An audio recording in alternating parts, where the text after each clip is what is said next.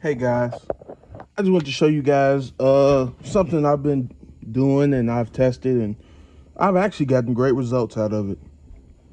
Okay, start off, I want to explain the issue. If you guys look at that transfer, the left side transfer, the one that's on the exhaust side, it's actually aimed towards the center of the exhaust, center of the cylinder combustion chamber rather. And that's not very good, you know, transfer angle.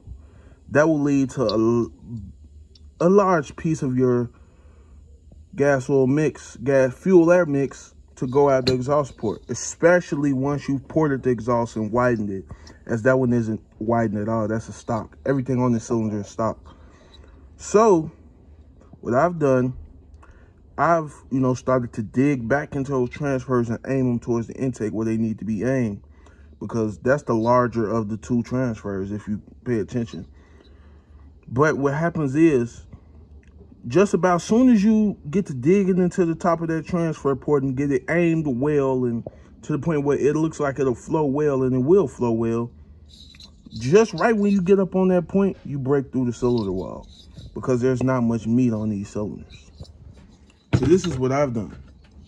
And no, I'm not um I'm not currently like putting these in my sale engine, so don't think if you buy one of my engines, you're gonna find one with JB Weld. If you request something like this, it will be more powerful and it won't sacrifice any reliability.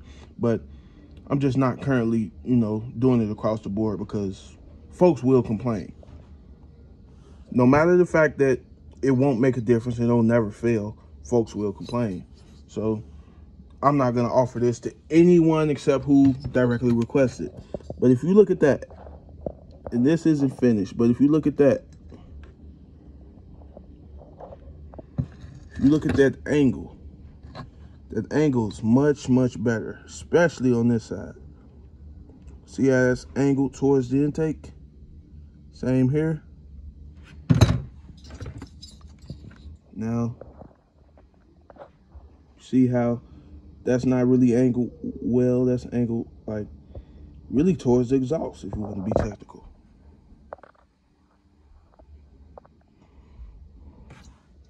This aim towards intake. Now I've done this already for two cylinders being ridden by local people. And the power gains is obvious. Like the low end torque gains is major even with, you know, I would guess, I would say conservative ports on the, you know, intake and exhaust. That's about 128 degrees intake duration. 160 exhaust.